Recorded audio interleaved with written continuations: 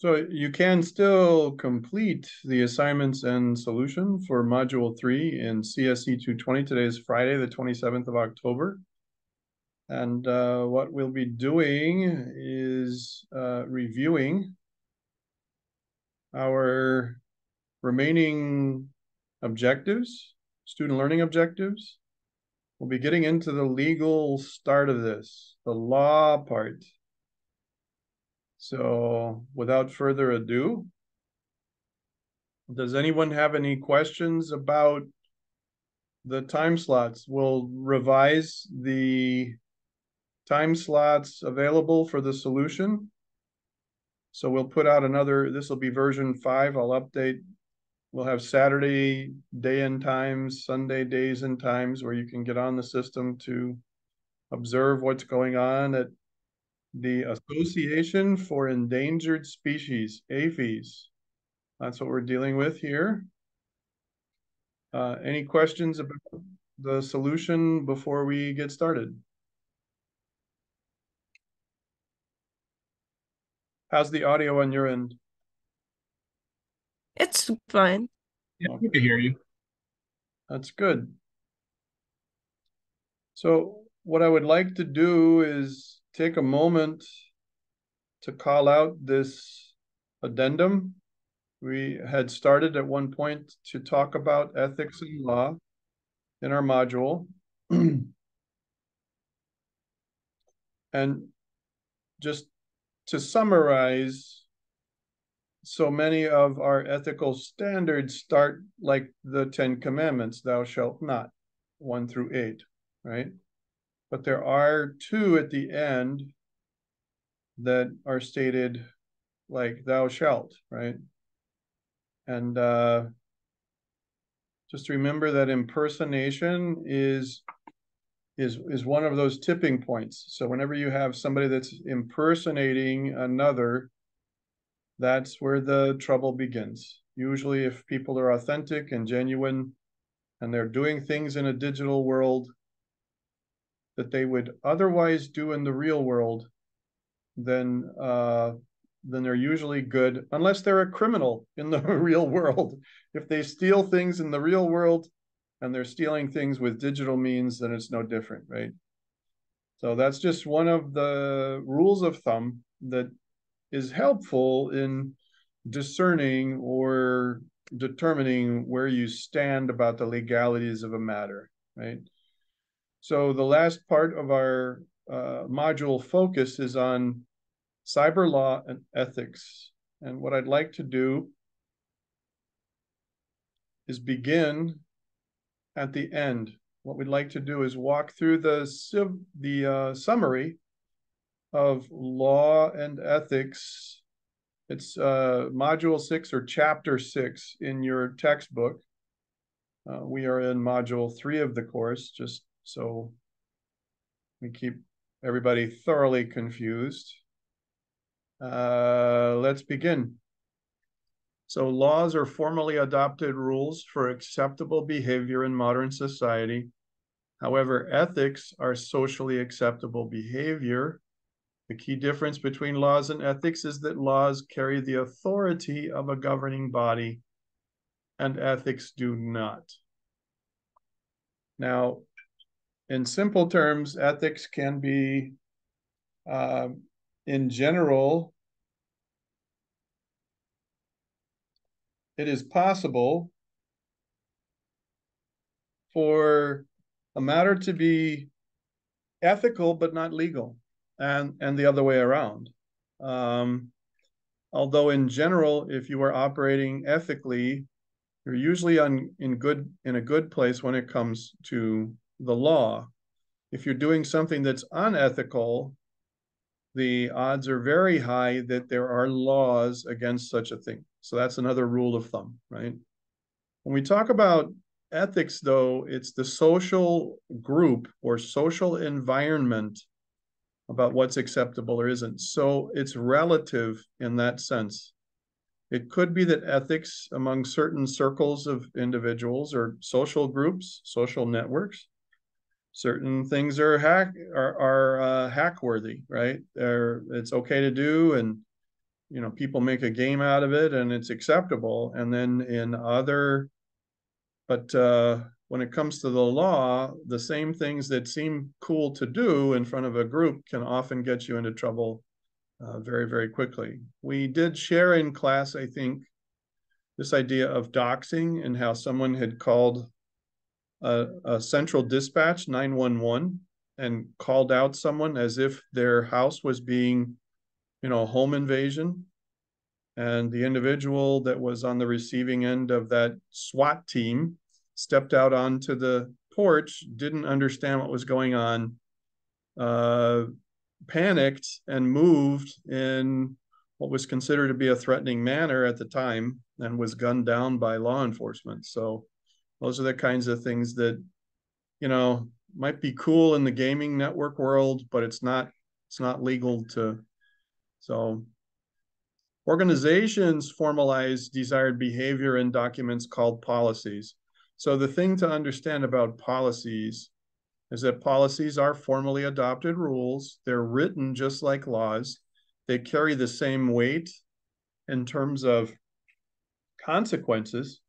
So if there is a policy against doing certain things with your technology at work, and you violate those policies, it's usually not long before there is some kind of, uh, you are bound to a standard of activity and a standard of operation. And if you violate those things, the policies can become the basis for disciplinary action up to and including termination from the organization, right?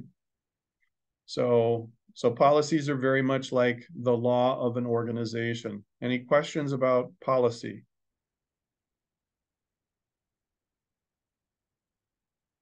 Civil law. When we say civil law, we're not talking about criminal, we're talking about something called tort. Has anyone ever heard of the term tort?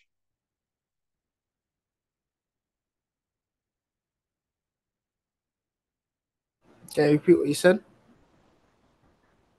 Civil law comprises a wide variety of laws that govern a nation or state. But oftentimes, when we refer to in the U.S. Uh, in the U.S. mainland, when we're talking about civil law, oftentimes it involves something called tort or litigation. Does anyone? Nah. It's a lawsuit. So you have law that allows one organization to go after another with with uh, civil law. So a civil case is based on a lawsuit, and it's one party against another that's breached a contract, right? So usually when there are lawsuits because of harm or violations, that can be something that's ethical. You could have a company that's that's uh, disposing of chemicals that are not technically considered to be toxic, but it's to an excess where people are getting sick and they get sued. So civil cases can arise even when lawful cases do not. The thing to understand is that in the US federal government, when we talk about civil cases, we're talking about lawsuits or what's known as tort law, T O R T. Criminal law addresses violations that harm society or individuals and is enforced by agents of the, of the state or nation. So the, the, the preliminary or, or uh, and, and this is just common sense, everybody knows this, but in terms of the purest definition, when you have criminal law violation, someone from the government is coming after you.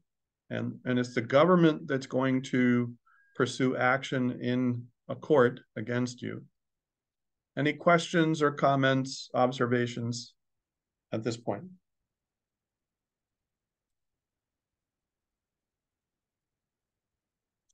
Can someone? Mm, nope, not for me. All right, that's what I needed. I just needed to know if folks were still here yet. Well, um, when does um when does a company really know that they should contact law enforcement or any any federal agency? That's I mean, a, yeah. Go ahead. Go ahead. No, that's a great question. So the the question was, when does a company understand that they need to contact law enforcement? So every company is likely to have a personnel department or human resources management department, yes? Yeah. And the personnel manager and the HR director, the people who manage personnel for that company, are familiar with the local policies, right? And sometimes policies will have a blanket clause in them that says something like, uh, it is the policy of this organization that all employees will operate in a lawful and ethical manner, period. So the local policy points to the law. Now, when a matter arises and the HR and administration is informed about a breach or a violation, if it doesn't trigger something locally, but it's serious, they tag in their legal counsel. So it's quite often that an organization would formally retain the services of a lawyer. And it's the lawyer that's the specialist in the the law of the of that given jurisdiction. So we have territorial law, but then we also have federal law. And Milrain, you mentioned an excellent point because we may not break territorial law, but there's a possible in a, in a violation, it could be possible that we actually breach or, or we're dealing with a, a break in US federal law because we're a US territory as well, right? So the so the degree that's where that's why jurisdiction can be so tricky. Remember that that the local jurisdiction, if it has a more stringent law, that law overrules or overrides the less restrictive uh, national or international law, and vice versa. So if it's terribly lawful, unlawful for the anyone in the United States of America, generally anywhere in the world, to do a certain thing, but in um, in the U.S. Virgin Islands, it's it's okay to do a thing, then the federal, the U.S. federal standard overrides the local law. It's the jurisdictional question that gets tricky. So the short answer is, we usually consult a good bit with legal counsel, but we're going to. I'm going to give you uh, a basic review of the primary laws that matter the most. So the other part of this question, Milrain, is by the time we finish this review, you'll know what the Federal Privacy Act is about. And if something happens in digital devices or systems or on a network, and it doesn't comply with the standards of the Federal Privacy Act of 1974, even though computers weren't commonly available back then, then you know that the law has been broken. Does that make sense? Yeah, yeah.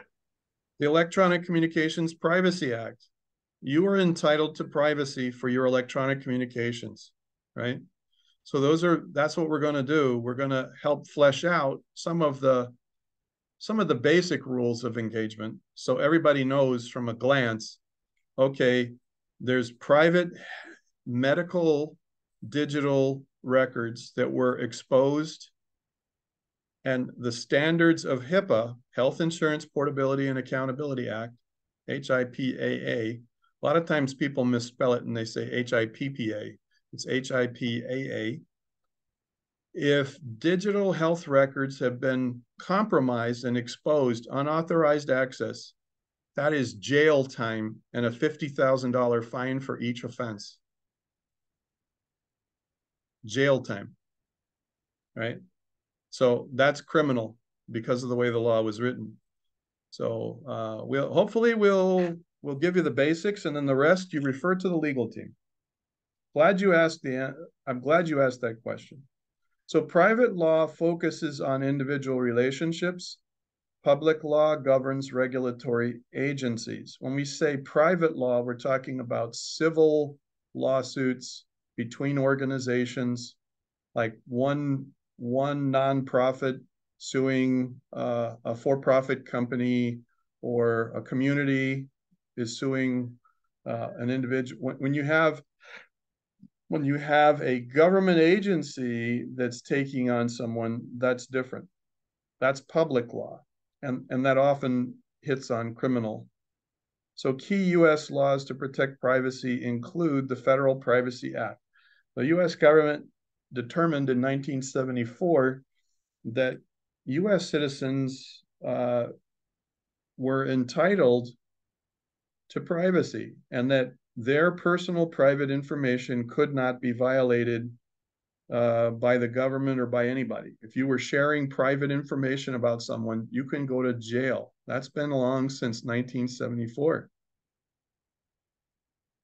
The Computer Fraud and Abuse Act of 1984 has to do with the fraud and abuse of federal computer systems.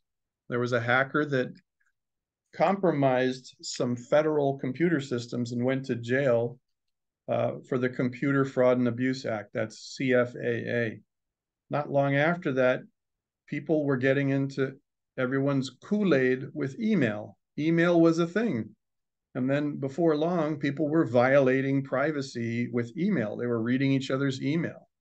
So 1986. And of course, we've already talked about uh, digital health records, right? Everybody knows about the Digital Millennium Copyright Act, yeah? DMCA. Mm, no, I'm first time hearing about it. When you watch a movie, have you ever seen an FBI logo at the start of a movie? Yeah. Yes. That is part of the Digital Millennium Copyright Act.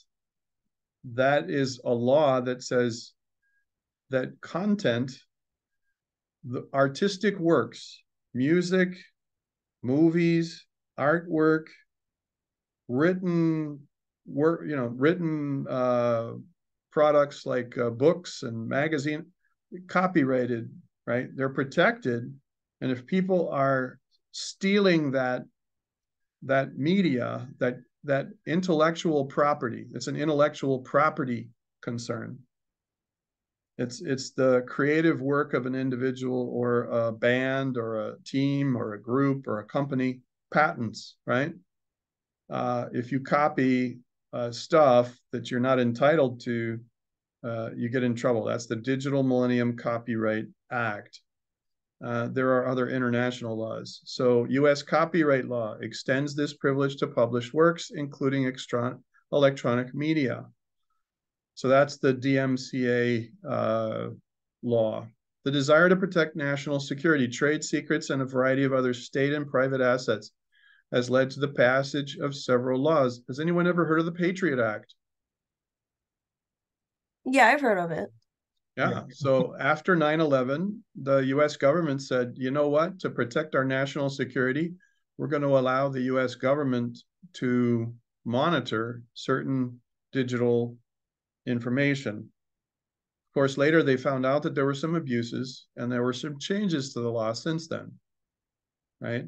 An individual by the name of Edward Snowden was an employee of the United States and he released over a million classified documents on the internet and then fled the country to go to Russia because he found out that the US government was spying on their own citizens, even though there was no security issue, spying on their own uh, allies, their own colleagues, not just threats.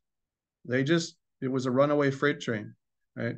So the US government had to answer for this, and there were changes as a result. So the original Patriot Act is still, there are certain components of the original Patriot Act that are still in play, but it's been it's been changed, it's been updated. So there's a new, uh, it's like a, the new and improved uh, Patriot Act. Studies have determined that people of differing nationalities have varying perspectives on ethical practices while the use with the use of computer technology. So if we're talking about certain nations, uh, it might or might not be illegal to do certain things, right? But that doesn't mean that you're cause, you're not causing a problem if you're doing it across the internet and now you're, well, you're engaging US citizens, right? Or you're engaging other citizens. Deterrence can prevent an illegal or unethical activity from occurring. Deterrence requires significant penalties, a high probability of apprehension, and an expectation that penalties will be enforced. So has anyone ever seen the login logo when you go to a US, um, the University of Virgin Islands computer system and you go to log in? It, it's a splash screen. It's called a banner. It comes up and it says, hey, uh, when you when you click and you enter your password, you're agreeing to ethical standards of use and you're agreeing to the fact that we're monitoring the networks and our systems to prevent illegal or unethical activity. And you're supposed to use this for university purposes only, right? So, so that kind of screen comes up. Does everybody know what I'm talking about? Yeah. Mm-hmm. I can show it to you. Basically, I can remote into the, uh, like the classroom machine and uh, that thing will pop up. So that's part of deterrence. If it says on that splash screen, on that banner, unauthorized or illegal use may result in disciplinary action up to and including re referral to criminal authority, you know, to legal authorities, right? Deterrence doesn't mount, it doesn't help, it doesn't work, it's broken if it doesn't mean that that when people are caught, they're slapped on the wrist. It's like, oh, you're a bad person. Don't do that again. Right? There have to be significant penalties. There has to be a high probability of apprehension and the expectation that penalties will be enforced. I did tell you about a student that was on our network that downloaded pornography. I did I did share that, right? It was a Yeah. research a research network and it was the first of its kind. This is about 5 years ago and a student from St. Thomas didn't want to, I don't know, uh, go into the weeds with their own network. So they used the new research network at our campus. And when they downloaded the nasty stuff, the uh, the the published works, right? This the studio for that adult content backtraced the IP address to the individual on St. Thomas, right? And and yeah, there were penalties that were enforced, right? Otherwise, deterrent doesn't mean anything, right? So deterrent is effective, but only effective if there are significant penalties. That's the condition one. Condition two, you're gonna get caught. it's only a matter of time. It might not happen right away. By the way, we should talk about this just a moment. Has everyone heard of the story of the Garden of Eden? Adam and Eve. Uh, Yeah. Uh huh. You know, the most common interpretation of that story by most men is that, oh, it's Eve's fault because she gave the apple to Adam, right? I mean, that's what I've Yeah. heard. That's what I've heard. It's not fair. It's not true either. I want you to think about this a second. When I first heard the story about Adam and Eve, I thought, wow, is Adam dumb or what? I didn't automatically assume that it was Eve's fault. I thought, what's with Adam? I mean, why would he cave? Oh, well, you know, they had a good relationship. Yeah. He didn't want to upset Eve. She was saying, hey, you should taste this. This is great. Uh, it, it's going to open your eyes. You'll have knowledge you don't have before. Right. But here's why it worked the serpent. The serpent had a half truth, and the serpent said, Oh, you're not going to die. Oh, what God told you, that's that's wrong. So God told them, if you touch this, you will die. When Eve took a bite out of the apple, what's the first thing they realized? Was Eve on the ground dead? No. Eve didn't die. Eve wasn't on the ground dead. Not at that time. So to Eve, Eve thought she had proof of what? That God was not being straight with them, that God was not serious, that he was trying to keep something from them. She believed the serpent because she wasn't dead on the spot. That's the problem. I want you to understand the original notion of sin has less to do with who to blame and more to do with whether or not people believe it's going to come to roost. If you're doing something you're not supposed to be doing, if you want effective cybersecurity, one thing you have to ensure is that you're watching for it. And when it happens, you bring it home and you set an example. Sacrificial lamb, baby. Slaughter the lamb. Make an example, right? You have to do it. If you don't, you're not establishing the idea that the penalties will be enforced. It is only after the fact, the sad thing, God did not get to Adam before Eve did. And Eve's like, hey, I'm not dead. Look, look, see, it's not true. And now I know all this cool stuff, right? That's the problem. People get in those weeds and they go to the dark web. Oh, and the dark web is so cool. And that's usually right before the hammer drops. Okay. I'm just I'm just just sharing a little bit of personal perspective here. Think about the garden of touch the fruit. Avoid this tree and its fruit lest ye die. I need you to understand that. Now, if you're working cybersecurity, it means you're watching and you're waiting and you're catching it so that somebody else doesn't break a law and then you have a bigger problem on your hands and you have a criminal investigation in your organization. It's better to catch things before they go from bad to worse so that you can deal with them locally. But if there is a law that's broken, you can no longer just deal with it locally. And don't you think the local leadership will try to convince you otherwise? You know how else you go to jail as a cyber professional? When it's time for the penalties to be enforced, if you have local leadership that go, well, you're a paid consultant, you work for us. We're not doing that. I'm like, the hell I am. I'm not going to jail for you, fool. I might have I might have a contract with you, yes. And I do work for you, yes but I have ethical standards. And that's why I'm a professional. And we're not having this conversation. Now, you get with your legal counsel and we'll have a conversation with this after my report is filed. But this is the last time you're telling me that I'm going to go ahead and do something that's wrong and it's unlawful because I ain't wearing prison orange for you, right? You got to be ready to have that conversation. That's this is where the rubber meets the road.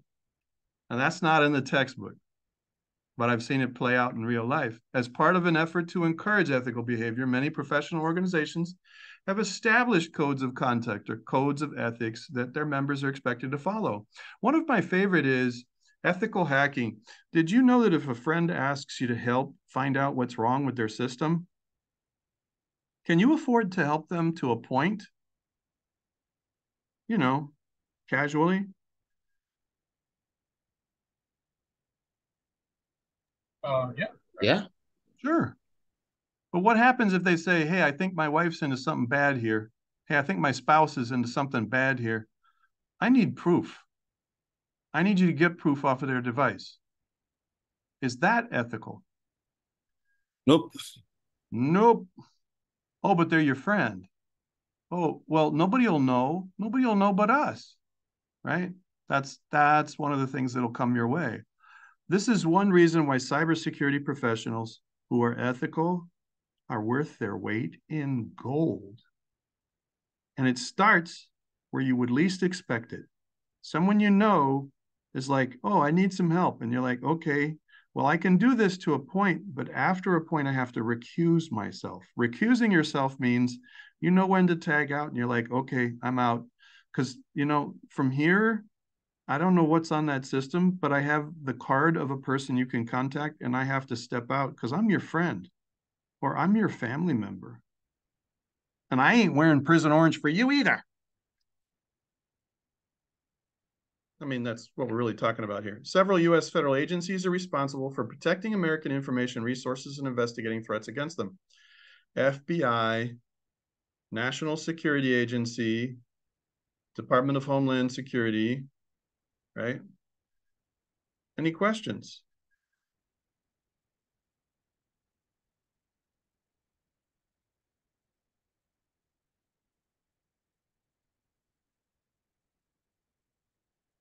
All right, we're going to move a little faster. So the terms are important in the study guide and the addendum. You're going to find uh, a lot of these definitions are spelled out. You need to understand the difference between ethics and law. So this cultural mores, that's the attitudes or customs of a particular group that feeds into the ethical dynamic that so cultural mores are part of the ethical dynamic. That's where some things can be considered ethical and in other cultural contexts they're not considered ethical. That's worth stating and stating and stating all over again.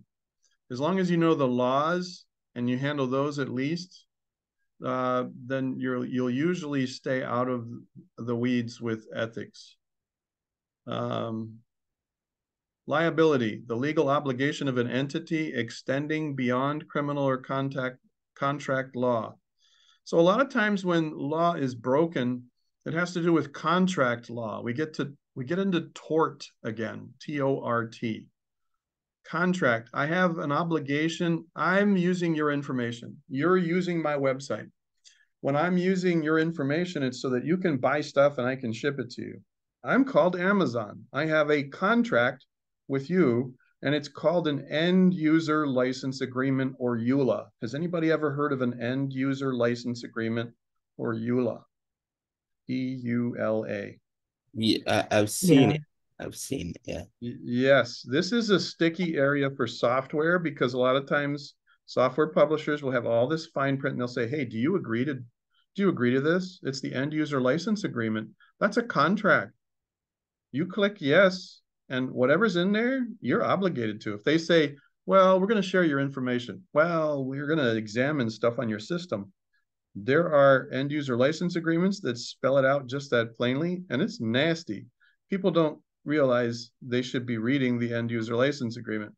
It includes the legal obligation to make restitution. You have to compensate an injured party for wrongs committed. Uh, we've mentioned jurisdiction before, so this is a court's right to hear a case if the wrong was committed in its territory or involved its citizenry or involved its citizens. So it could be that in some cases, the U.S. Virgin Islands court system can still hear a case if it involves a resident of the U.S. Virgin Islands, even if they were somewhere else. Long arm jurisdiction, right? Application of law laws to those residing outside a court's normal jurisdiction. It's usually granted when a person acts illegally within the jurisdiction and leaves. So somebody does something wrong and then they're like, oh, I'm skipping town. You can't do nothing. Nah, nah, nah, nah, nah. Yeah, that would be your first mistake. It's called long arm jurisdiction. We're coming after you.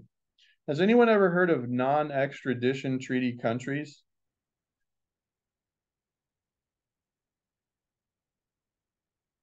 No, no, never Yeah. heard of.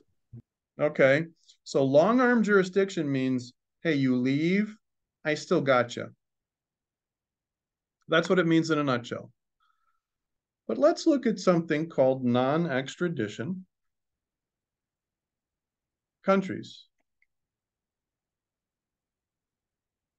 There was a case a couple years ago of a guy that was sharing copyrighted music, digital copyrighted music. And so this individual had to live in a foreign country where there was a non extradition policy. It means that the long arm of the law can't, it doesn't work. So if you, Edward Snowden went to Russia after he leaked over a million classified documents.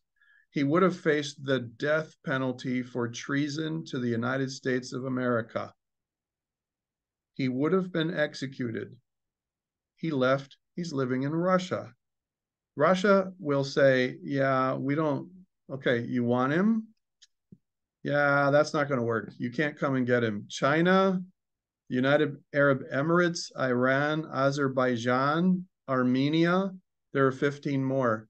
Belarus in Eastern Europe, Cuba, Montenegro, that's in Eastern, Southeastern Europe, Bhutan, that is a uh, Asian country, Vietnam, Bahrain, Armenia, Djibouti, Kuwait, Syria, Benin. There's also many island states that are non-extradition countries.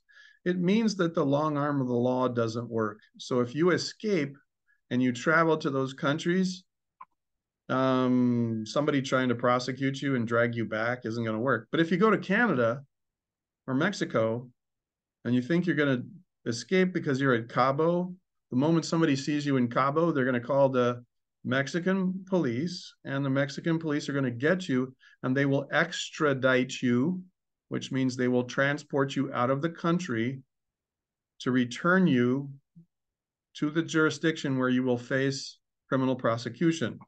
Does that word extradite mean more now?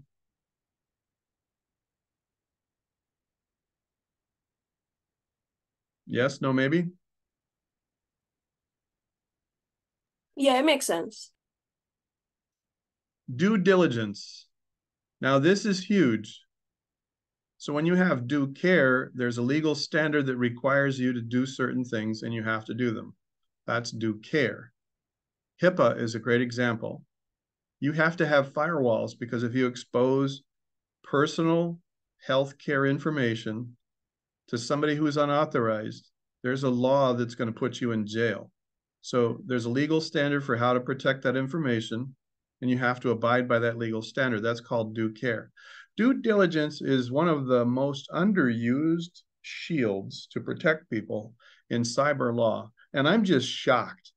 Due diligence means you know the legal standard requiring what a prudent organization would do to maintain the standard of security and due care. And, and you ensure that actions are effective. You do your part. It, the world's not perfect, but you, when you go to court, people find you've done everything reasonable to protect yourself. And on that basis, you've demonstrated what's known as due diligence. A lot of times, you can't be held liable or accountable as long as you documented that you did everything you could that was reasonable and prudent, right? It means you weren't you weren't being you, you weren't be you weren't being callous or practicing a disregard for the law. You knew the law and you did what you could. And and then here comes a hacker and the hacker ruins everything, but they're not going to throw you in jail because of the due diligence. This is a huge concept. And it's it's safe territory. It's a safe haven or safe harbor for people working in cybersecurity. Do what you can, right? Encrypt information, hash it so that you can guarantee that it's authentic. You know, uh, have security measures in place so that people can't just walk in and take and get into this stuff. That's what due diligence means. Any question about due diligence?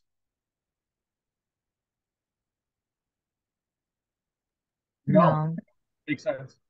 Now, I'm about ready to close our session. This slide is huge because there's a tipping point between policy and law. And you need to understand the difference. So we know that policies are like the local laws of the organization. Okay, we understand that. And it has to do with what's acceptable and unacceptable behavior in the workplace, right? And that organizations have these, they implement them, they train their employees, they're fairly applied to everybody, right? Those are all, you can't have a policy you don't enforce or it's no good, right? But here is another rubber meets the road moment. This is one of those things that bites people all the time. You can say there, there are many cases that have been settled in court where somebody said, really? We have a policy that says I can't do so and so? Because people are doing it all the time. And you're not enforcing it consistently. I didn't know we had a policy because I saw XYZ doing this. And then last month it was such and such that was doing this. I didn't think there was a policy because frankly, people are just doing it and it's not being enforced consistently. It's not fairly applied to everyone. Ignorance of a policy is an acceptable defense. But look at this next part of the phrase. Ignorance of law is not. What am I saying? You can't anywhere, you can't go into any court of law and say you don't know about HIPAA. You didn't know that digital health records are protected by federal law. And if you if you do something to expose those health information records, you're going to jail. When you get into a courtroom, it's like saying, honestly, I had a fight. I knew that he was trying to hurt me. Um, and I was just trying to protect myself by killing the man. I didn't know there was a law against doing that. Oh, yeah, there is, right? So there are different degrees of assault and manslaughter, right? So this gets kind of touchy, but you know this in, in instinctively. If you're pulled over by an officer and you're going way over the speed limit, I mean, can you say, I didn't know we didn't have a seatbelt law? Is that going to work? No. No. In fact, they're putting out ads. Hey, we're going to ticket you if you don't have a seatbelt on. Right? Have you seen the ads? The VIPD has put out ads about seatbelts. It's like, hey, Oh, you can't, yeah, I've seen ads, but I don't think I've seen yeah, these Yeah, they pull somebody over and they have this conversation with the law officer, and they're like, "I didn't know that because she was in the back seat, she had to have uh, a seat a seat belt on." You're like, "No, sorry, I'm still writing this ticket for you." Right? Ignorance of the law is not a defense, but ignorance of policy may be a defense under certain circumstances, like if the organization doesn't fairly apply or if they don't take the time to educate people about their policies. They don't enforce the policy, they don't they don't conduct orientation about the policy, they don't hold people accountable for the policy. That's a policy that just doesn't work. Okay. Now, policy versus law. So policy enforcement, you have dissemination, distribution, reading, comprehension, agreement, and uniform enforcement. Those are the steps of making policy work. Law works different. Business policy function as blank laws and must be crafted. What's the answer here?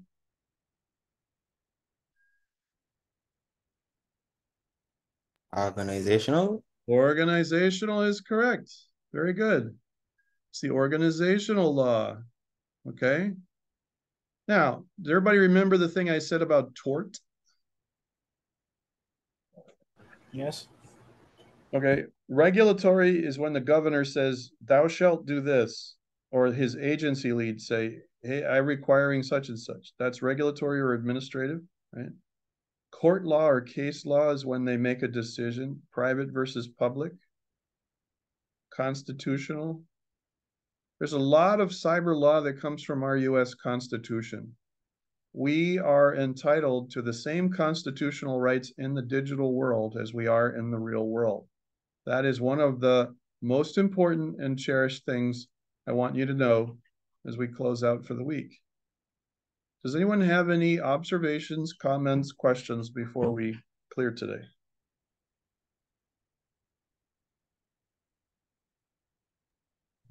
No. No.